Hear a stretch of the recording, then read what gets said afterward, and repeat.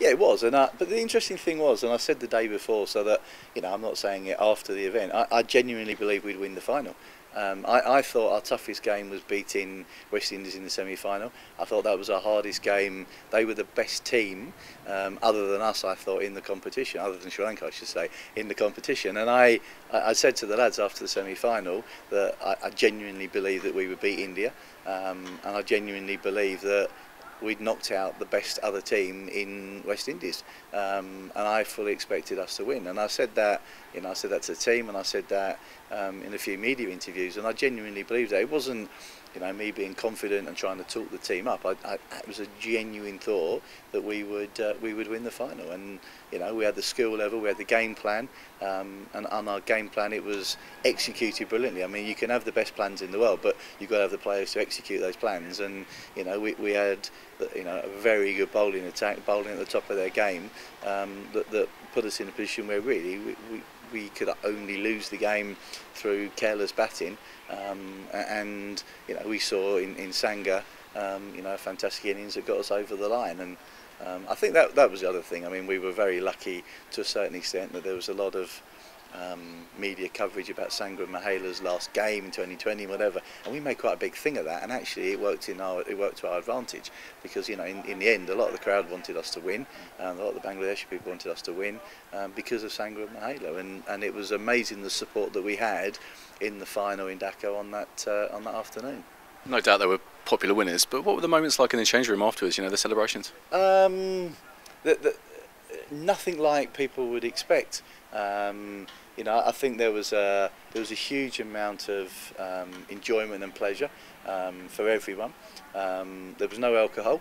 Um, I got soaked in uh, Coke and lemonade, um, as did a couple of others. Um, there was a lot of pictures taken. The boys wanted photos taken, you know, with their friends, which a lot of them are friends, their mates.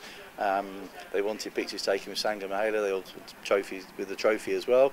Um, and there was a lot of um, there was a lot of time where you know the lads sat around, they had some food, um, they had a you know couple of soft drinks, and, and we chatted, and it, it, we were in the we were in the dressing room for a couple of hours probably after the final, um, and it wasn't we didn't get back to the team hotel till I think probably 12:30, 1 o'clock in the morning, um, and then you know we went to the manager's room as we had done for most games, and, and we had five minutes of discussion, and then there was a, um, a cake was cut for um, Sangha and Mahala's last 2020 game.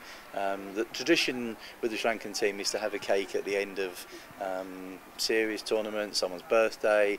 Um, so after the semi-final, it had been Tissa Pereira's birthday, and um, on that day, although uh, um, you know, we didn't get back into the team room until nearly midnight on that night and, and cut the cake and the tradition is that the person whose birthday is or whose day is being honoured for the cake Um, they cut the cake, and then the first piece of cake um, they share with someone close to them in the team. And um, you know that that's it's a really nice way of doing it. Then it goes a bit silly in that the rest of the cake gets rubbed in someone's head, and there's cake everywhere. And, and that happened um, after the final. But you know, I, I, I left probably the next morning. I left early hours of the morning, and you know the guys were still sitting around talking about the game, enjoying the game, and, and that's what you know that that was the uh, that was the aftermath of winning the final, really. And, and the next day, we spent a day in Dakar, oh, and again, whenever we saw another, we chatted about what had happened the day before, and it was a, it was a lovely feeling, really. And then they went back to Colombo on the wheel, we went back on the Tuesday, and the guys were then taken in on an open top bus into the city centre, and took three hours to get in, and then there were thousands on the way in, and thousands again um, actually in um, in Colombo on the Face Green, waiting to welcome them. And it was a, you know, it, it was a fantastic, uh, fantastic occasion for them. And it, you know, in some of the players, it will seriously change their lives and, and the way that they're seen in Sri Lanka. And, a fair play to them, I mean, because it really was a, a very special victory.